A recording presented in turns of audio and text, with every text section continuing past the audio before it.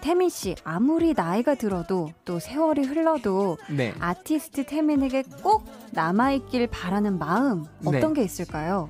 어 사실 조금 그러니까 마음이라기보다 멤버들 음. 멤버들이 항상 마음에 있고 이렇게 곁에 있었으면 좋겠어요. 뭔가 아, 뭐 어쩌면 뭐 30년 뒤쯤 뭐 40년 뒤쯤 멤버들이 조금 이제 같이 뭉쳐서 활동을 못 할 수도 있지만 음, 그래도 뭔가 항상 곁에 있었으면 좋겠는데 가까운 데 살고 싶어요.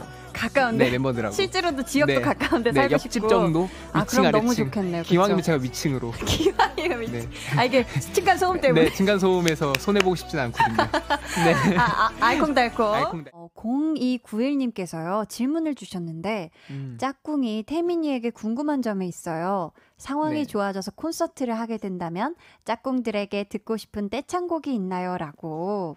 저 누- 눈꽃이란 노래 떼창으로 꼭 듣고 싶어요. 아 눈꽃이라는 곡을 네, 떼창으로. 이제 팬분들 그 노래 가사 중에 사랑해줘 나를이라는 부분이 있는데 네. 팬분들이 그렇게 딱 얘기하면 알겠다고 꼭 대답해주고 싶어요. 아 그래서 아 모두 지금 그날만을 네. 아 기다리고 강제. 강제 사랑, 강제 사랑. 질척거리기.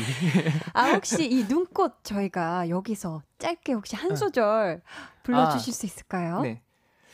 나 나를 사랑해줘 나를